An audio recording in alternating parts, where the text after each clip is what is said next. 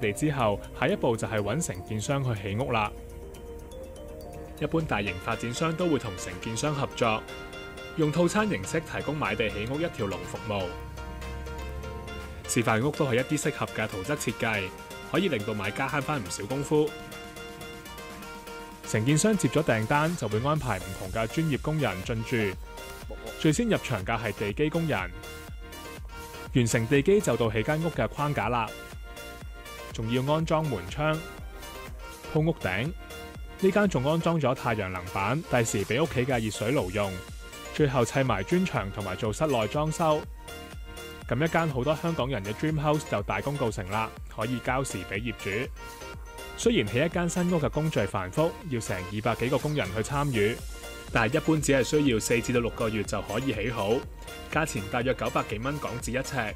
起一間二千尺嘅獨立屋都只係盛惠一百八十幾萬港紙，連埋一幅大約一百八十萬嘅四五千尺地皮都係三百六十萬到。難怪有六到七成嘅澳洲業主都會揀買地起屋組合。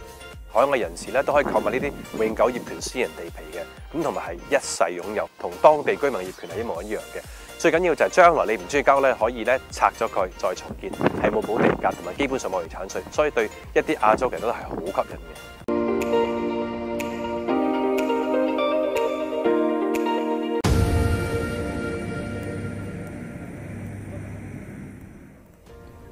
上集帶大家睇咗喺墨爾本點樣買地起屋。今集就帶大家登堂入室參觀一間已經完成裝修嘅獨立屋。呢間屋佔地四千尺，單係室內面積都有二千幾尺，仲包埋個可以泊兩架車嘅車房。室內裝修就以簡潔為主，客廳有落地大窗，天然採光度十足。放個張 L 型嘅大梳化之後，仍然覺得空間闊落。後面放個張大餐台，請一大班朋友翻嚟開 party 都唔成問題啊！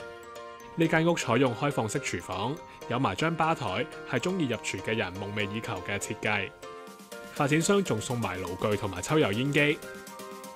香港而家買樓有個廳已經叫做唔錯噶啦，咁但係呢間屋唔單止有個大廳，仲有一個偏廳喺正啦大門口隔離。咁遇着有朋友過嚟撳門鐘揾水吹，咁請佢入嚟坐一坐，真係夠晒方便啦！再帶大家睇主人房。我最中意嘅係房入面有埋衣帽間。呢間屋總共有四間房，業主如果有幾個小朋友都唔怕唔夠空間啊！打開大廳嘅玻璃門就可以行出佔地八百幾尺嘅後院。後院呢塊草地仔啦，其實可以俾你發揮創意，變成無限可能噶。咁有啲居民啦會攞嚟改造成為一個球場仔，亦都啦可以變做泳池啦，或者係燒烤區。唔中意嘅話，攞嚟啦，種下菜，種下生果，自己食都得㗎。呢間屋嘅建築連埋裝修費用，大約一百八十幾萬港紙，圍起每尺大約九百幾蚊，連埋地價售價大約三百六十萬。